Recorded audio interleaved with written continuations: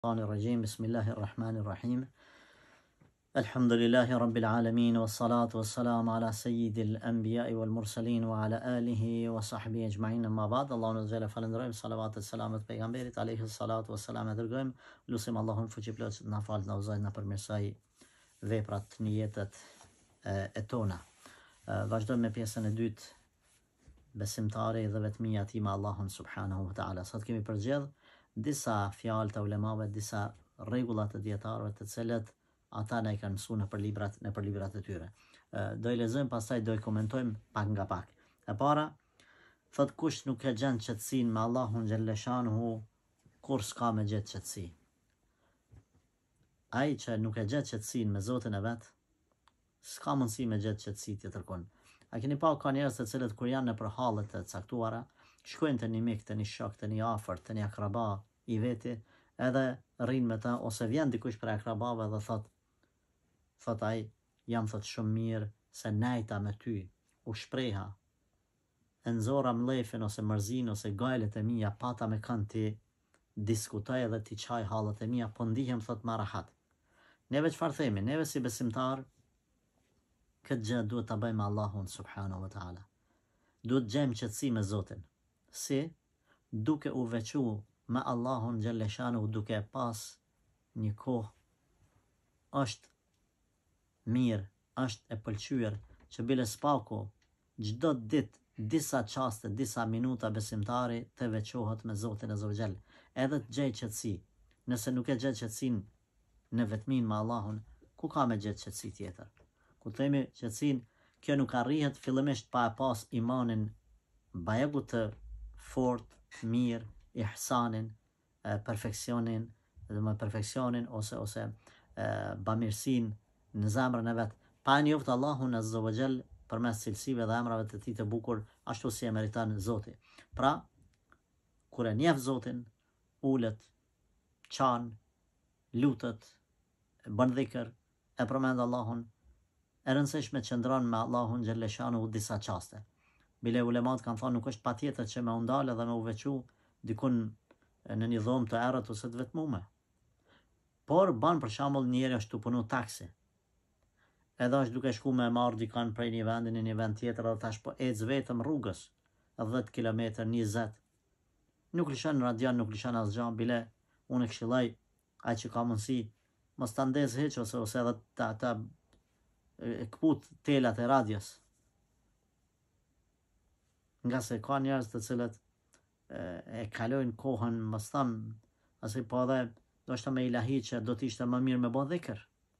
E, kur e nalë radio nuk keqka me përveç nëse lëshon Kuran a e dihet, ose ders, por i nal çdo gjë edhe bën du'a fol me Zotin e lartësuar o Allah ti je gjithëmëshirshë e mëshirëplotë ya Rabb ty t'jam mshtet o Zot përmirësomi punët e mia të dukshme dhe të msheftat o Zot përmirësomi nijetet e mia ya Allah mos ma merr shpirtin pa u kon i knaqun o Zot me mu o Allah më ke dhan shumë të mira Unë jam shum mangu me ibadete unë e di këta po ti m'njeh ma mir sesa unë që e njoh veten time o zot o Allah falmi pash madhnin tane gjunahët e mia udhëzom n'rrugën e drejt ma mundso me jetu sa jeta është hajr për mu merrma shpirtin atëherë kur vdekja është ma hajr për mu e të ngjashme nga duat që besimtari ja drejton Allahut kjo vetmi je duke ec me makin askush nuk po të dëgjon askush nuk po të sheh pos Allahu xheleshanuhu pra kur themi Të vetmohesh me Allahun e të kënaqesh?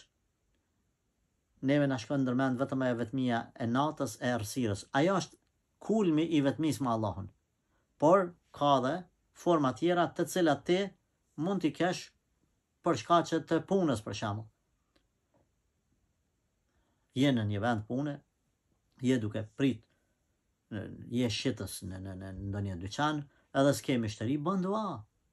Veçohesh me Allahun me Allahun xheleshanu pra kush nuk e gjet qetësinë në vetmi me Allahun ska me gjet kurrfar qetësie tjetër prandaj na e përkrahim at faktin që njeriu duhet me pas shokë dhe miq me të cilët gjen qetësi kënaqet rahatohet ama fillimisht le ta gjej atë me Allahun e tij e dyta Përmendet nga shumë prej dijetarëve të selefit, të cilët vetmoheshin me orë të tëra. Kishte prej atyre që dhe largoheshin edhe dilnin ecnin natën, rrugëve ose fushave ose malit. Edhe qëndronin n'vetmi. Njëri prej tyre u, pet, u pyet njëherë, tha, A nuk po mërzitesh vetëm? Çfarë tha ai? Thotë, Si të mërzitem kur unë flas dhe qëndroj me Allahun. Pra mendo, nëse je duke ec ose duke në një vend i vetmuar dhe t'thotë dikush, mos ki frikë se kam me ardh filani me ty. Edhe thu, a, masi jon filani, s'kam dert, s'kam gajle. Por sikur të thotë dikush, mos ki dert, se është Allahu me ty, duke qëndru afër teje me dijen, shikimin, dëgjimin, e Tij. Atëherë kjo si do ta ndjente besimtari veten sa i sigurt? Absolutisht do të ishte do të kishte sigurinë më të madhe të mundshme, qetësinë shpirtërore më të madhe. Edhe pse pejgamberi sallallahu alaihi wasallam ka këshillu që mos me udhëtu njeriu vetëm, sidomos natën. As mos me fjetë vetëm në një shtëpi ku nuk ka njerëz, jo në një dhomë, në një shtëpi. Ulematë kur kanë diskutu edhe kanë spjegu këtë hadith, kanë thonë kjo varet prej personalitetit dhe fuqisë së imanit që ka njeriu. Nëse thotë është i lidhur fuqishëm me Allahun, siç jemi tu folë në temën tonë që ka thonë ky dietari, unë nuk frikësohem as nuk mërzitem as nuk shqetësohem sepse Allahun e kam me vete, nëse e ka këtë lloj imani, atëherë inshallah teala nuk ka dert sepse është i sigurt në vetveten e tij, në imanin e tij dhe nuk është i lëkundur, as nuk frikësohet prej kujt, as prej njerëzve, as prej exhinëve, as prej kërkujt sepse është lidh me Allahun pra ai nuk mërzitet sepse flet dhe qëndron me Allahun e lartësuar. Pra është çudi për atë njeri i cili gjen qetësi me të tjerët, i cili flet me të tjerët, qetësohet me të tjerët dhe nuk ka kohë me gjet qetësi me Allahun. Por këtë që po e themi ne, normal gjithë jemi të mangët, ndoshta ndonjëherë ka ndodh që jemi mundu me e provu këtë lloj ndjesie, por është ndjesi vërtet madhështore nëse do të arrinim me e kap çastin, por kjo kërkon shumë përvojë, prova, përsëritje, ngase është prej ibadeteve, prej ndjesive më të veçanta në botë që mund t'i ndjejë njeriu, sidomos nëse kjo vetmi shoqërohet me namaz. në errësirën e natës, me të qara, me sexhde të mëdha, me dua, me dhikr, aty ku nuk ka mundësi me të pa kërkush edhe mundësia për syfaqësi është zero. Duhet ta provojmë, të mundohemi, ta nxisim vetveten, nuk mund ta arrijmë menjëherë. Mund ndoshta të futemi në atë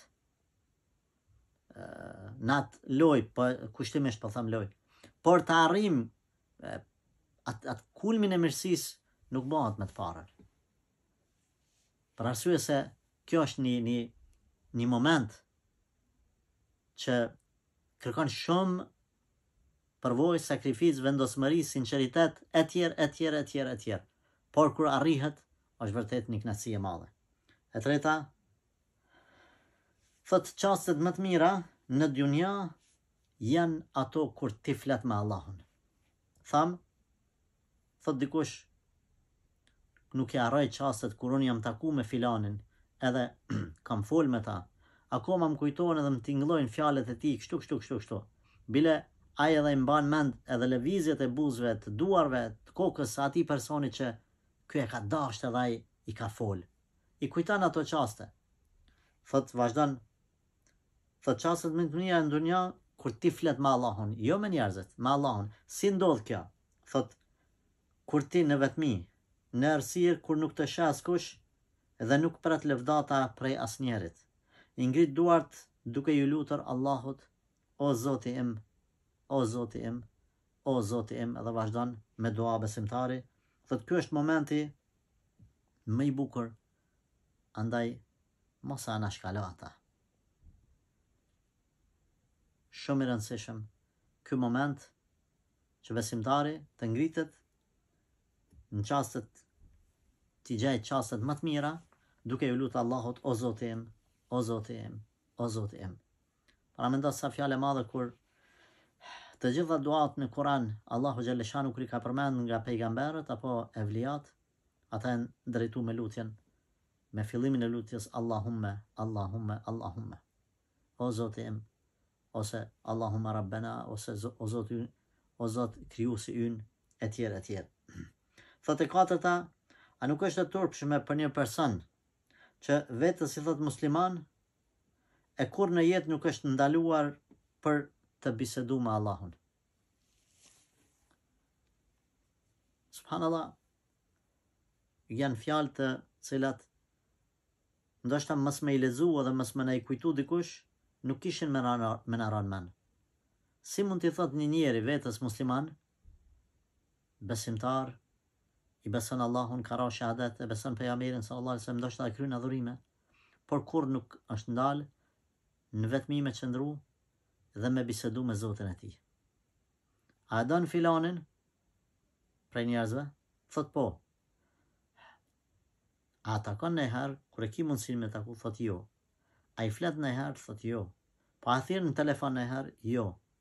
Po a ia çon një dhuratë ndonjëherë, jo. A be thot, si po e don ti ata? Me çka po e don? Ta qesim tash në këtë pozicion dashurinë e atyre njerëzve që pretendojnë se janë besimtarë e nuk kanë fol kurrë me Allahun, nuk kanë nejt kurrë me Allahun. Me thanë, qysh thamë, me qëndru në vetmi, veç me Zotin, me iu lutë, me iu drejtu atij, xheleshanuhu. Unë e kuptoj se këtu mund të arsyetohen ata njerëz të cilët falin namaz, ngase të qëndruarit më madhështor me Allahun Azza ue Xhel është kur jemi në namaz. E mrena në namaz kur jemi në sexhde. Jemi tu folë jashtë kësaj, sepse si pikë do të përmendim edhe këtë. Jemi tu folë jashtë kësaj. Jemi tu folë kur Masi ta kryn namazin si një obligim, ose si një traditë dikush, estagfirullah, veç me e kalu, pastaj ai a e ka atë ndjesi që unë duhet me nejt me Zotin ma? Nëse ke një akraba të cilin ti e do, edhe, ndoshta edhe me munafikllëk, me dyftyrësi, me interes, ma mirë po thom me interes, jo me, me, me munafikllëk, shkon edhe viziton dhe ke dëshirë me e taku atë herë pas here, mos m'u këput lidhjet për arsye, ha? Mos po prekët edhe pastaj nuk ja shoh hajrin, interesat e dunjasë e kam fjalën.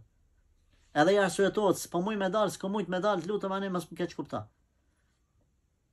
Po me Allahun Xheleshanu që interesi prej Zotit është interes i dunjasë, interesi i ahiretit. Po, përfitimet që Allahu të ka kriju, është Zoti yt, të jep të mirën dunja dhe në ahiret, sa më shumë që i afrohesh ai aq më tepër të afrohet.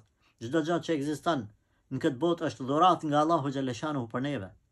E meriton të flasësh, të qëndrosh, të bisedosh me ta.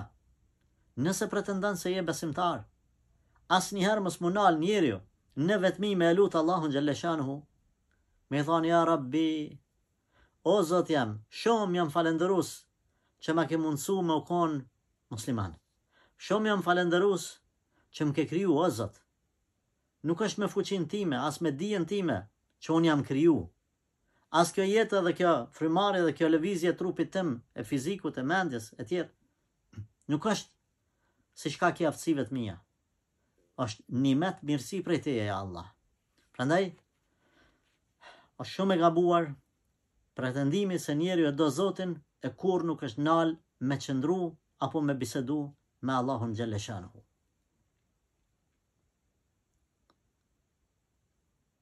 Tjetra thot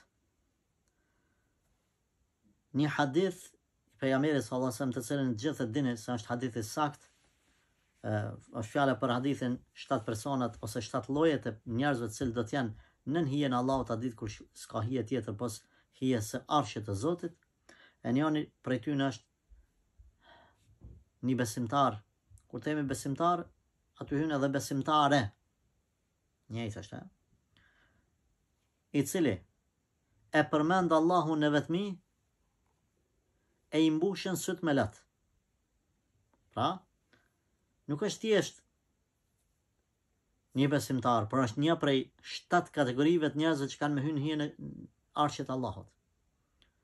Ai i cili e përmend Allahun në vetmi, fe fadat ajna, i mbushen sytë me lot. E para, çfarë posedon ky njeri që Allahu me fut nën hijen Arshit vet, e përmend Allahun. Bën dhikr shumë. E dyta, ia shton përmendjes së Allahut përmendjen në vetmi. Pra, e përmend në publik, por është veçu me përmendjen në vetmi. Pse, mundësia për të qenë i sinqertë është më e madhe në vetmi. Edhe i mbushen sytë me lot. Të mbushen sytë me lot, këtu është përmend si një vlerë, por ulemat kanë thonë nuk është detyrimisht që me u mbush sytë, ama kjo është kulmi i atyre të cilët në vetmi e përmendin Allahun. Kulmi është kur arrin që syri me çit lot. Por para se të çet syri lot, duhet me çit lot zemra. Sepse kemi lotin e zemrës, në mënyrë alegorike po them kështu, kur zemra çan, zemra përmallohet, zemra mërzitet, zemra e do Allahun xhaleshanuhu. Në momentin që e mrrin besimtari këtë lloj, ose, ose këtë grad, fillon pastaj edhe syri me qa me u zbut. Ashtu sikurse sahabët të cilët ishin para islamit të vrazhdët, masi u bon musliman, u, u, u zbutën zemrat e tyre dhe qanin sytë e tyre. Qanin. Edhe pse ishin trima të vendosur, fisnik, bujar, besnik, gjitha cilësitë e burrave të famshëm i kishin, ishin komandantë, ishin luftëtarë, ishin trima, të vendosur në betejë, megjithatë, kur ishin vetmi qanin. Kur ishin vetmi me Allahun xheleshanuhu, kur lexonin kuran, kur banin dua, qanin. U mbusheshin, mbusheshin sytë me lot. Kjo, si shkak, si rezultat, i rregullimit të zemrës së tyre, Prandaj zemrat e tona janë ba si gurë, edhe prej tyre as prej synit nuk del lot. Nuk duhet ta akuzoj tash asnjonin, as dikush ta akuzoj vetveten e tij për këtë gjë, por duhet të mundohemi që të mrrijmë diku më lart se sa që jemi, të ecim më përpara, duke përmend Allahun xheleshanu, duke bo duan vetmi, duke u lut, duke fal namazin vetmi, Do të vijë momenti që edhe besimtari të të qajë nga dashuria, nga imani që e ka edhe lidhja me Zotin Azza wa Jall. Pra, i ka bon këto tri vepra ky besimtar, edhe do të mërrijë këtë grad. Pra ka përmend Allahun shumë, qoftë duke lexu Kur'an, qoftë duke bo dua, qoftë duke përmend dhikr, lutje, nga hadithet e Pejgamberit sallallahu alejhi ve sellem, kam për qëllim hadithet e sakta, qëndronte i vetmuar me Allahun xhelle shanuhu derisa i pikonin sytë me lot. Thot tjetri, rregull, sa më shumë që e njeh Allahun, aq më shumë e do.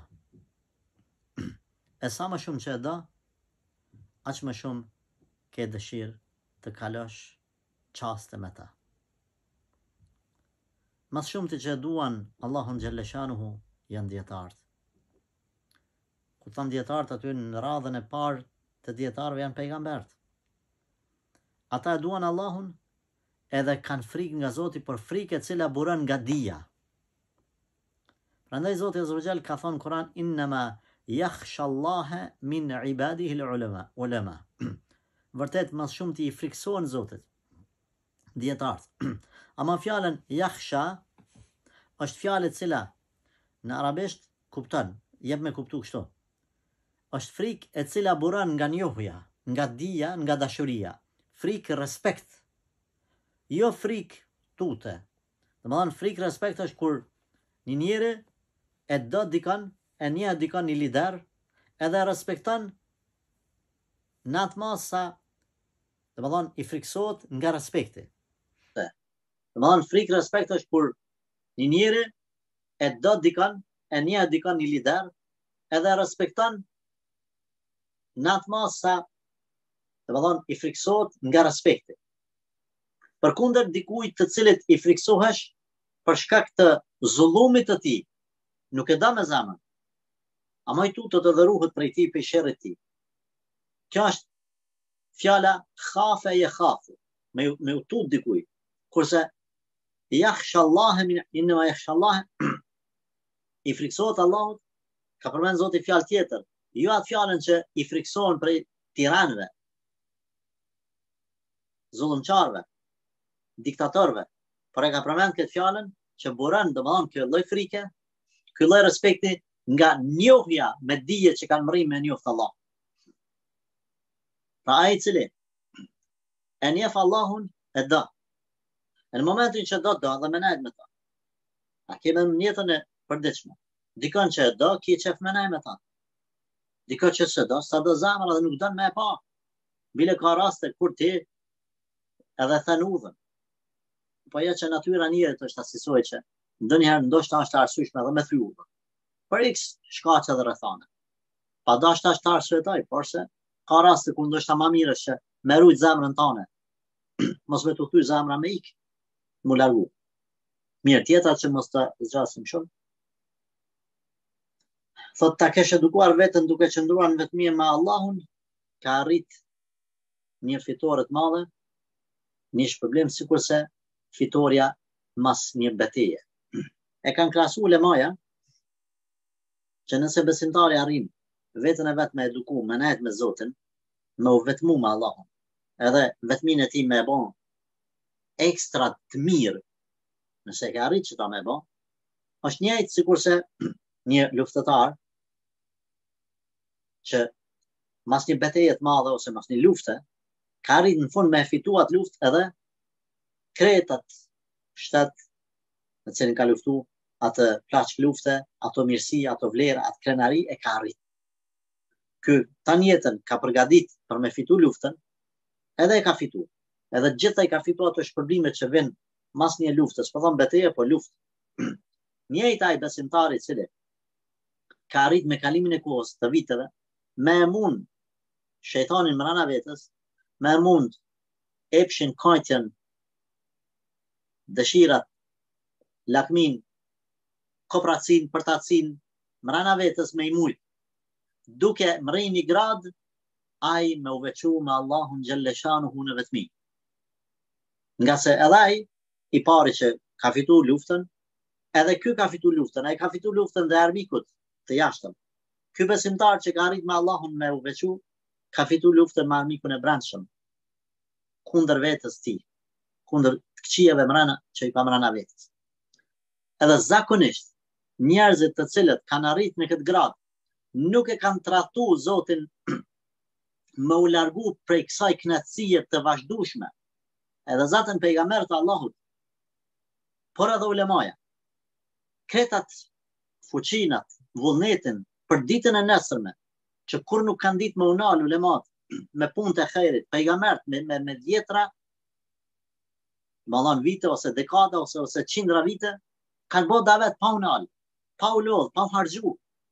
Krejt kjo si shkak ulemat kanë thonë, ai që ka hise në vetmi me Allahun, këtu në vetmi me Allahun hyn edhe namazi natës, namazi nafile. Prandaj Allahu ka këshillu pejgamberit sallallahu alaihi wasallam ja ejjuhel muzammil kumil leila ila qalila në këtë sure ku Allah azza wa jalla e ka këshillu me u fal pejgamberit sallallahu alaihi wasallam natën pra me u vetmu me Allahun sepse ka dash me përgatit për nesër për davet e nëse besimtari arrin me u veçu edhe me e pas këtë lloj tradite nuk e len ma edhe nesër ka me qenë shumë ma aktiv edhe si lloj rigjenerimi si lloj karburanti për motorin e tij do ta ketë.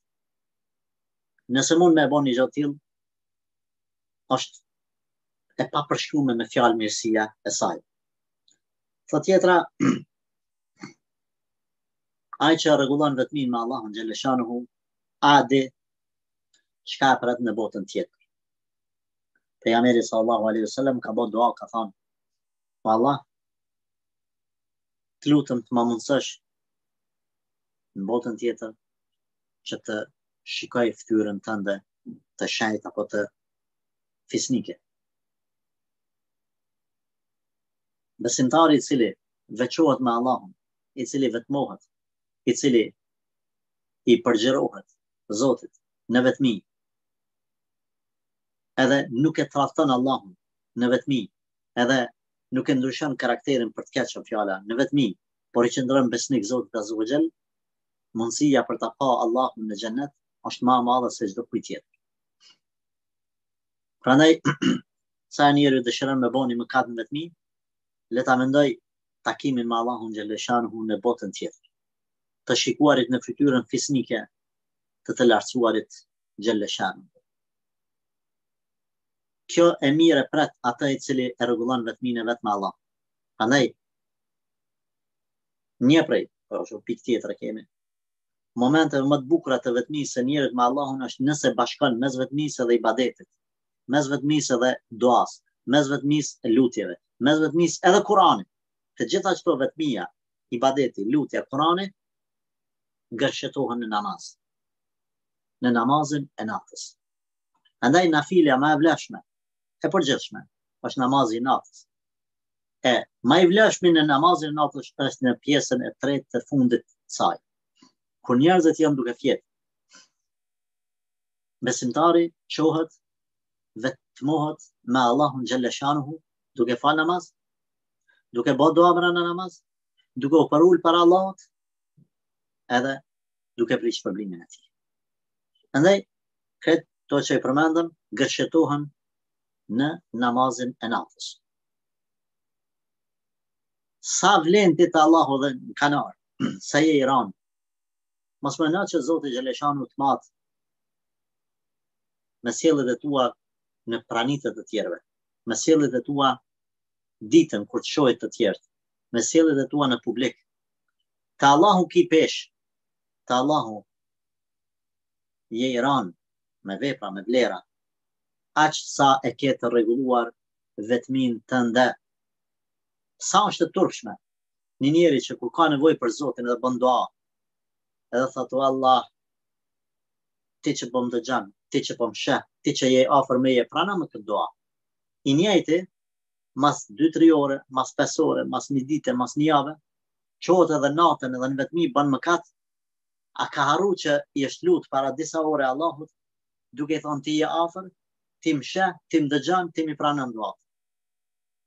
Po qaj që iu lute parëz, a nuk është tash afër, duke të pa, duke të dëgju, edhe mundet me të dënu, kur u vetmove me haramët e Zotit, estagfirullah. Andaj, kujdes, në kandar sa je i randë. Kjo është sebebi pse, ndoshta nuk vlerësohesh sa ti don me u vlerësu në shoqni, sepse nuk e ke të rregullume vetminë tane me Zotin e botëve. Allahu na përmirësoftë. Ibadetet ma të mira, në përgjithësi janë ibadetet e vetmisë, kur vetëm ti me Allahun je. Përveç, atyre ibadeteve që në sheriat ka argument që duhet me i ba publik. Pra, pesë vakti e dini ju që, pesë vakti është obligim për burrat, normal, mes ulemave ka diskutime a asht farz apo jo, por ata të cilët dëgjojnë ezanin e kanë afër xhaminë, neve themi se është farz për me dalë në xhami, për me shku në haxh e do ibadete tjera të cilat është ma mirë me i bo publik. Përndryshe ibadetet tjera sa ma në vetmi, sa ma i veçum me Allahun është ma mirë. Të nderuar besimtarë, pa dashtë me zgjat ma shumë, Lus Allahun xhel që këto fjalë të gjejnë vend, fillimisht në zemrën time pastaj në zemrat e juaja. Allahu na përmirësoftë anën e jashtme, ata edhe të brendshmen tonë, Allahu xhel na e përmirësoftë jetën në publik edhe jetën në vetmi,